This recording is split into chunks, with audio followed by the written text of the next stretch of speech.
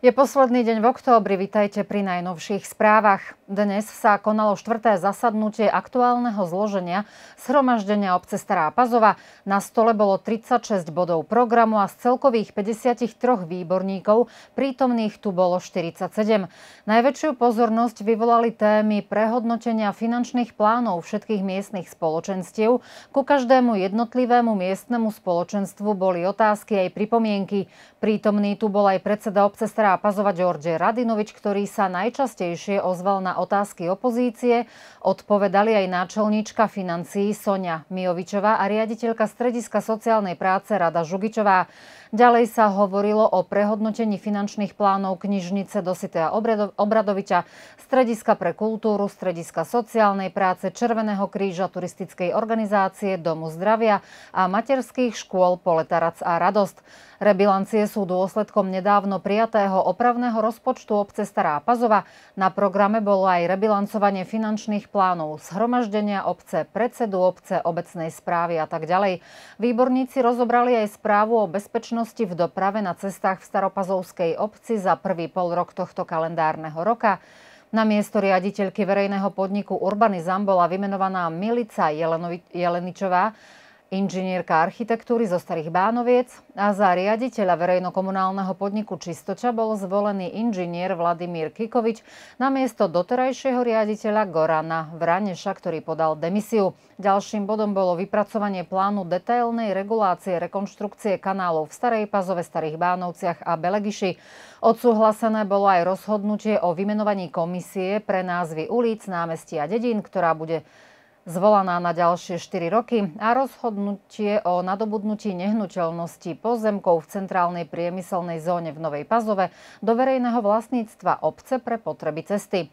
Posledným bodom boli otázky a diskusia. Tu dominovali témy ako ekológia, kanalizácia, kvalita vzduchu, riešenie problémov s túlavými psami, pouličné svetla a podobne. Zasadnutie trvalo 5 hodín. Vo väčšine základných a stredných škôl na území Staropazovskej obce bude zajtra prebiehať skrátené vyučovanie, čo znamená, že každá vyučovacia hodina namiesto 45 minút bude trvať 30 minút z dôvodu ohlasovaného štrajku syndikátov školstva. Vyučovanie bez skrátených hodín v riadnom režime sa bude odvíjať len v základnej škole Slobodan Savkovič a špeciálnej škole Anton Skála, a to kvôli špecifickosti práce s deťmi. Na gymnáziu Branka Radičeviča v Starej Pazove bude prebiehať riadne vyučovanie, ale rozvrh hodín bude mierne zmenený. Ministerka školstva Slavica Ďukičová Dejanovičová dnes pozvala na stretnutie členov syndikátu školstva, ktorí sú nespokojní s návrhom vlády. Vláda navrhovala zvýšenie platov všetkým zamestnancom v systéme školstva od 1. januára o 11% Navyše navrhla aj jednorázový peňažný príspevok vo výške 15 tisíc dinárov do 9. januára. Rokovania ešte budú pokračovať, kým sa obe strany nedohodnú. Podpredseda vlády Srbska Aleksandar Vulin sa stretol dnes v Minsku s ministrom zahraničných vecí Ruska Sergejom Lavrovom. Pri príležitosti medzinárodnej konferencie o euroázijskej bezpečnosti sa shodli, že pre vzťahy medzi dvoma krajinami je významný rozhovor medzi prezidentmi Aleksandrom Vučičom a Vladimírom Putinom. Vulin povedal, že Srbsko na čele s posledným slobodným lídrom v Európe bude naďalej viesť politiku výlučne v záujme svojich občanov. Celková zahraničná výmena tovaru Srbska v období od januára do septembra dosiahla 50,5 miliard eur, čo je nárast o 3,6% v porovnaní s rovnakým obdobím v Lani. Zverejnili to dnes z Republikového štatistického ústavu. Dovoz tovaru bol v hodnote vyše 28,5 miliónov, čo je zvýšenie o 5,3% po regiónoch najväčší vývoz zaznamenala Vojvodina vyše 33% Belehradský región vyše 22% región Južného a Východného Srbska 21% a ďalej región Šumadie a Západného Srbska. Dovážalo sa najviac do Belehradu a okolia, na druhom mieste v dovoze je Vojvodina a Šumadia a Západné Srbsko je na treťom mieste. Na základe dohody medzi Ministerstvom poľnohospodárstva a spoločnosťou NIS bude do 10. novembra poľnohospodárom poskytovaná cena nafty 179 dinárov za liter, teda zvýhodnená cena. Výhodu zníženej ceny budú môcť využívať registrované poľnohospodárske gazdovstvá. Túto akciu bude možné predlžiť, ak to dovolia okolnosti na trhu, upozornil minister Aleksandar Martinovič po stretnutí s riaditeľkou úseku malo obchodu v spomínanej spoločnosti Boja Bojanou Radojevičovou. Jedinou podmienkou využitia tejto akcie je, aby mali registrovaní poľnohospodári tzv. agrokartu, ktorú teraz môžu jednoducho a rýchlo získať pomocou novej digitalizovanej mobilnej aplikácie NIS Agrokartica. Návod na používanie aplikácie je dostupný na oficiálnej stránke spoločnosti NIS Srbia. V dávnom októbri roku 1924 bol na prvom medzinárodnom bankovníckom kongrese v Miláne vyhlásený Svetový deň sporenia. Jeho význam spočíva v tom, aby si verejnosť uvedomila, aké je dôležité pre domácnosť aj pre ekonomiku krajiny mať úspory. Rezervné financie sú dôležitým prvkom v boji proti chudobe a prvkom sociálneho a ekonomického pokroku. S mikrofónom sme sa vybrali na tržnicu, aby sme zistili, na čo staropazovčania najviac míňajú. Na stravu, na to, na to, čo musíme jesť. A keď príde koniec mesiaca, niečo vám aj zvýši, či to je od penzie do penzie? Oni nemám dosť. penzia mala. Najviac ide na hriatia, na, na všetky tieto teraz, ako prídu bežne tieto račúni, čo máme poplatiť.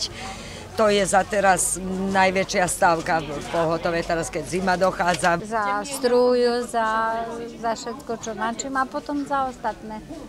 Dobre, za jedenia máme humno, máme všetko a za chleba, za, za to, čo potrebujú. A keď príde koniec mesiaca, niečo vám aj zostane na účte, ušporíte, či sa nedá? Málo, nedá sa. Nedá sa. Ja mám 30 tisíc penziu, to je málo. Ako vyplynulo z odpovedí respondentov, je dobre dávať deťom vreckové, ale nie veľkú čiastku a treba aj skontrolovať, či dieťa použije peniaze na pôvodne mienený účel. Takmer všetci sa shodli, že v živote viac ako peniaze sú dôležitejšie zdravie, deti a láska v rodine. Kompletnú anketu si môžete pozrieť v nedeľu v rámci relácie s vami a pre vás.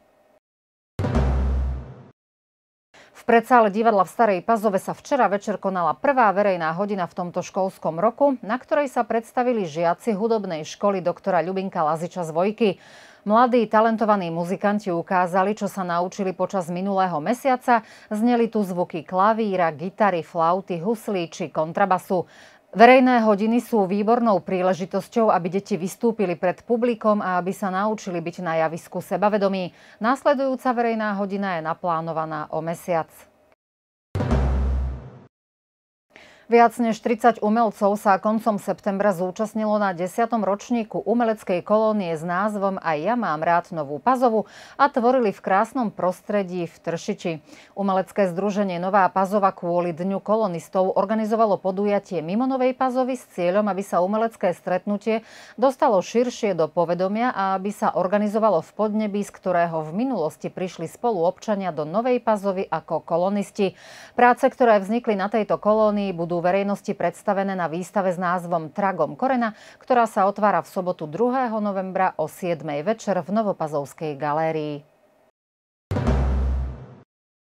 V nedeľu 3. novembra sa v Evangelickom kostole v Starej Pazove budú konať služby Božie riadne o 10. hodine, no aj o 15.30 bude v chráme Božom program služby venované 50.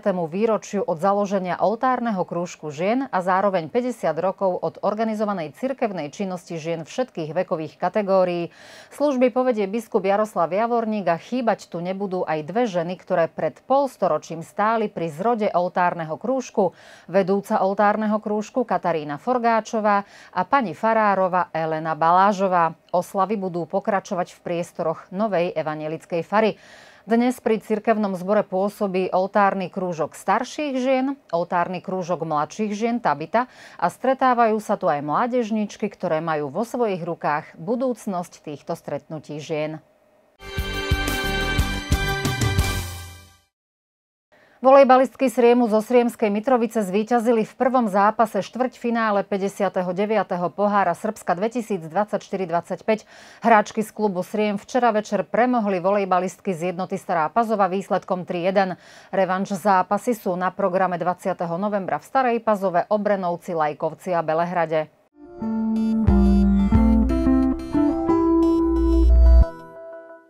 Piatok v Starej Pazove bude oblačný, bez slnka, ale bude sucho a teplomer ukáže od 6 po 18 stupňov. Slabúčky vietor bude mať premenlivý smer. Na záver ešte pohľad vojvodinského kalendára.